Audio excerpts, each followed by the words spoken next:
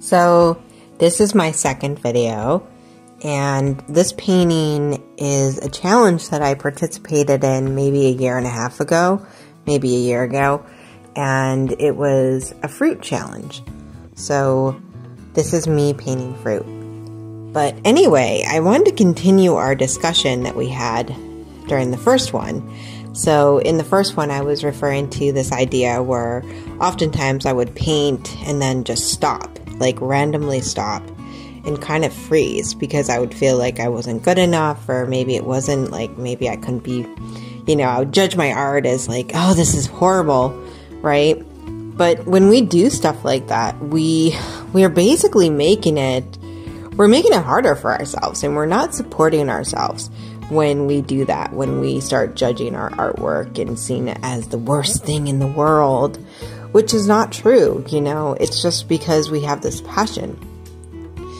I was reading something recently about how when we put our self worth based on what we want, you know, um, how much we achieve, then it becomes a chore, it becomes a job. And so if you're doing that with your artwork, then you're making it a chore. You're making it like, oh, this has to be perfect. It has to be up to the standard. And and it doesn't make it fun to do. After a while, you do probably discontinue. Or if you're looking for evidence that people like it, right? But then you don't get the evidence that you think you should, then also you might discontinue. And so it's about learning to support yourself and seeing like what you're doing as part of the process.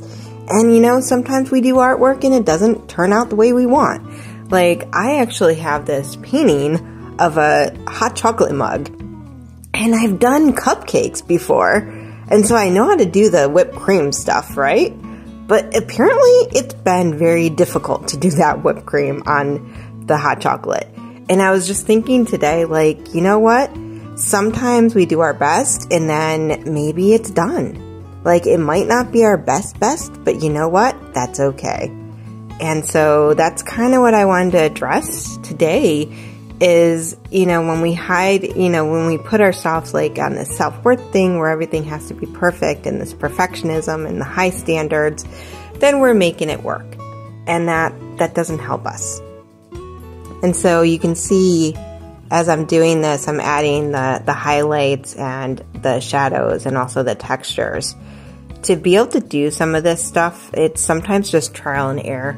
To just try, you know, and see what happens. Also, reading books, like finding books that are about like value, finding books that are about contrast, that also helps.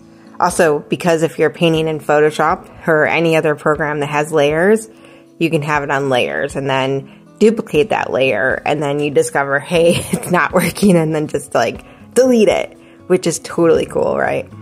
Um, but yeah. And then of course there's this like, you look into, you know, you start working on the textures and start seeing the lighting as you're painting and then you go outside and you go into your regular everyday environment and suddenly you're seeing that and so, like, I think also that also helps kind of improve your painting if that's what you're looking at. But, um, yeah, so back to the perfectionism. So it's okay to um, do what you're doing and not have it be perfect. It's also okay that maybe you put it out there and no one cares. But you know what? It's about how you feel. It's about how you um, promote yourself, how you carry on and how you do what you love, right? It's about what you love and doing it. So, anyway, I know we didn't get too in depth into this uh, perfectionism and to the self worth, but um, yeah, I hope we can um, talk more about that later. So, thank you for watching, and yeah.